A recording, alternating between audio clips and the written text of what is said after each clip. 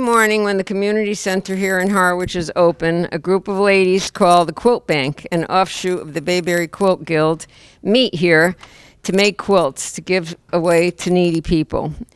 This year, our total for the end of the year is going to exceed 500. We're very excited about that. Today, we're presenting to Michelle De Silva quilts to take to Fort Belvoir. We're giving her quilts for the Wounded Warriors, two for Wounded Warriors' wives, and 28 for Wounded Warriors' children.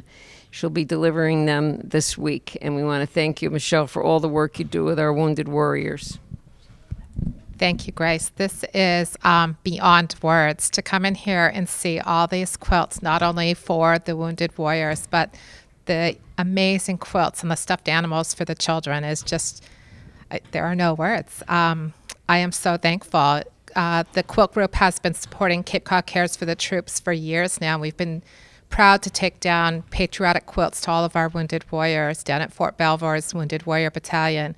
Um, Dylan and I will be leaving Tuesday to deliver quilts and gifts for 28 families in need down there of our wounded warriors, and all of their children will be receiving a quilt.